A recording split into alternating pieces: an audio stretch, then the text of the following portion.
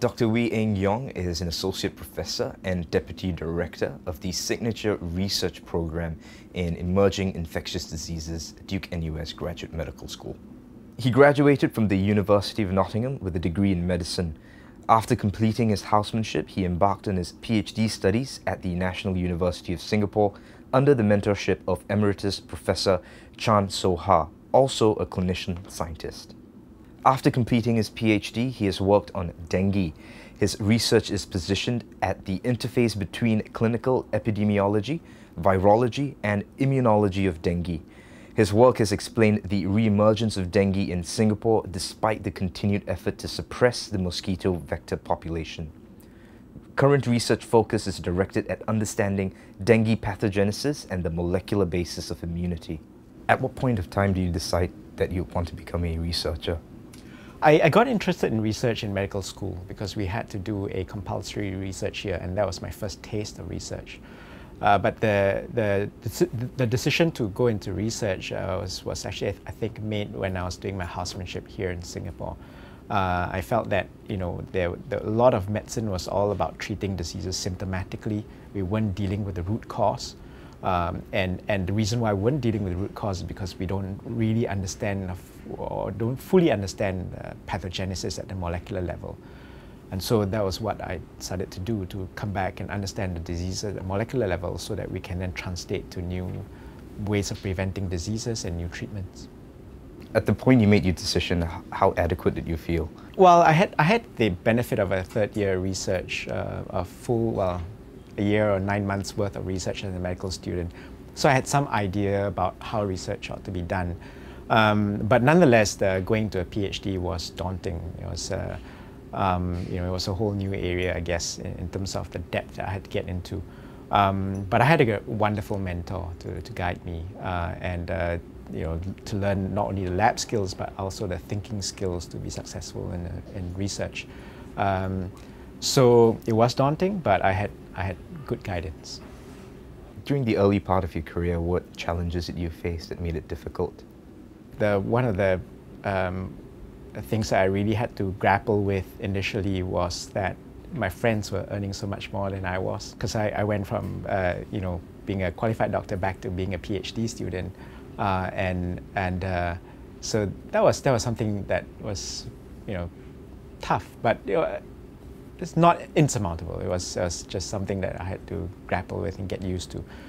Uh, subsequent to that, I mean, with, with, other research, it was a matter of uh, getting it all set up uh, so that you know we had all the materials to do the research, you had all the infrastructure, you had the right tools and all that, and put all those things in place. So that took a bit of ed, you know effort, a bit of energy, uh, and once everything was in place, it was it was a matter of then just uh, asking the right questions and churning out the right answers.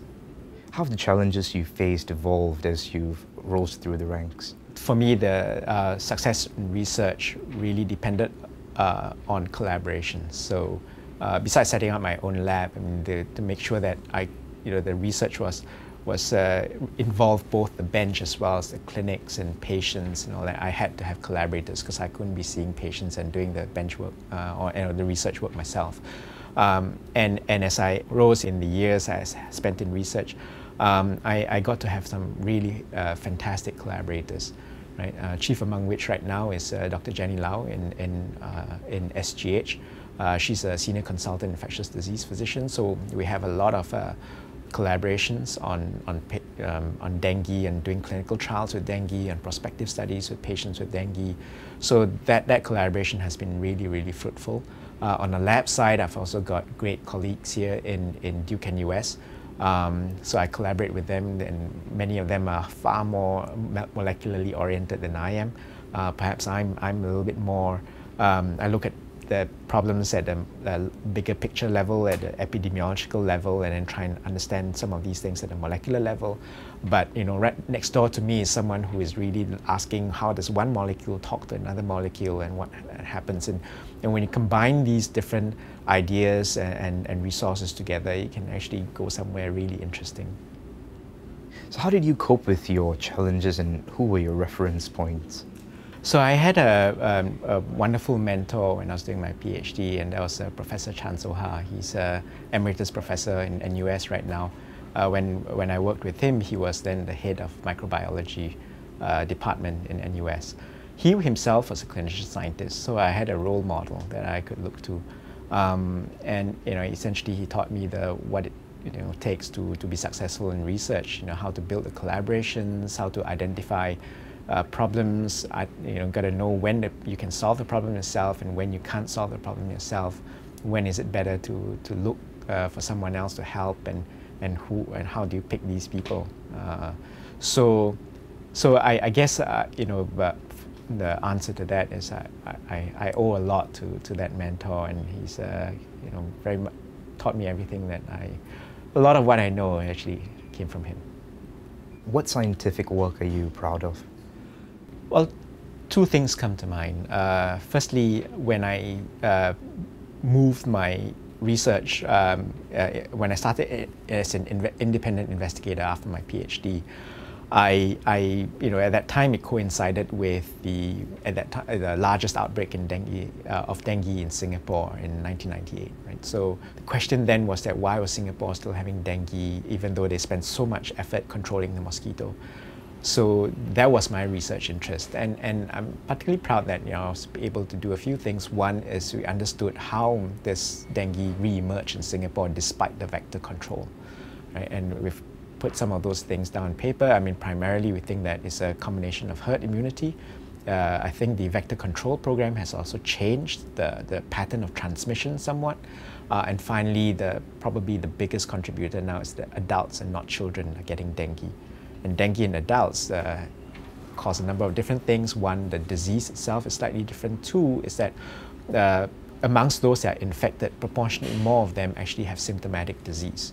Right? And because adults work, and so they, they need to go to a doctor to get a medical certificate to get off work, then the, the surveillance system picks these cases up more than if these would happen in children and they would just have stayed at home. Right? So because of that, then you the, the, more cases are reported, and so you get more cases in the 90s and then in the early 2000s now, even though there's vector control. Um, so I, I, think you know understanding why Singapore has has uh, this re-emergence of dengue has, is important not only for Singapore because then we need to understand how to deal with it, but also for the rest of, of the world because uh, Singapore is always often looked to as the model to control dengue, right? And so, you know, papers argue that the vector control should be done the way Singapore does it. But then, if you have a re-emergence of dengue despite the vector control, then I might argue for you know that you know this is really not worth doing. So, understanding why it re-emerged uh, is, is I think critical to driving uh, the, the, next step into how okay what do, what next do we do. Right? So that's one piece. And I think the other piece that of work that we that we're doing now that I, I think is pretty exciting is where you know because of the the the reemergence of dengue in Singapore, uh, despite this vector control, it argues also for a vaccine to make things to make dengue prevention more sustainable. Um, but the dengue vaccine is limited by our lack of un complete understanding of immunity, the basis of immunity. So, so I think our lab has you know identified that as a problem. Uh, so we've kind of moved from epidemiology now into more fundamental science to try and understand immunity, and we've begun that process. So we have identified that antibodies, besides just blocking virus from attaching to cells or and getting into cells, it does a second or uh, another effect. It has it's also able to aggregate these viruses to form immune complex. When it does that, it's interacting with different receptors on the cell. The outcome is completely different.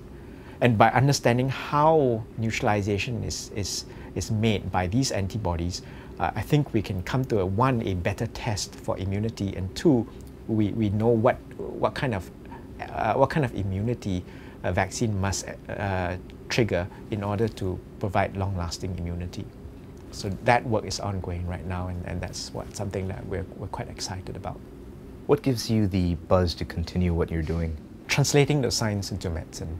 Um, I think the, the, you know, the uh, fun in research is actually to be able to attain the knowledge that would change the way we're practicing medicine uh, today. So, for example, you know, there is no vaccine against dengue. Right? So having a vaccine is going to fundamentally change the way we prevent dengue. I think you know one is that vector control we know today is very very expensive. So in Singapore it costs us 60 over million a year to control one you know couple of species of mosquito uh, that prevents maybe one or two diseases. Um, have, if you have a vaccine, then you know the the countries that cannot afford a uh, vector control might still be able to prevent dengue. Right? If, if the vaccine is cheap enough, you can vaccinate uh, children. Um, so doing the science that then enables the development of such a vaccine or even working with companies, which is happening to us right now because of what we have done, we began, began to be, be able to test immunity in a more specific way. So we've begun a collaboration with uh, a pharma, uh, vaccine manufacturer to, to do this. So having, being able to do this and see that vaccine move slowly but hopefully surely into uh, um, licensing and eventually implementation uh, is, is, is, you know, is gratifying. So in, in, retrospect, what would you do differently if you could go back in time? Uh, not a whole lot. Um, I think um, uh, if, if, if there's perhaps one thing that I, I would have liked maybe is to have, be, have been able to do my uh, PhD and MBBS all at the same time, so in like an MD PhD, as opposed to breaking up in two separate parts. Um, so, and the reason why I say that is I, I think you know there's there's a lot to be said for youthful energy uh, during the PhD years. You know the, the the because one it is it requires a bit of stamina, and two I think you know that. Uh, the most productive time is when you're in the early 20s when you're most imaginative and not constrained by you know too much knowledge or too much reality um, so, you know, if anything, uh, I would have done over again or have like to do over again, that night might be it. But beyond that, I, I don't have um, much regrets in what has happened. I'm really satisfied with what's happened.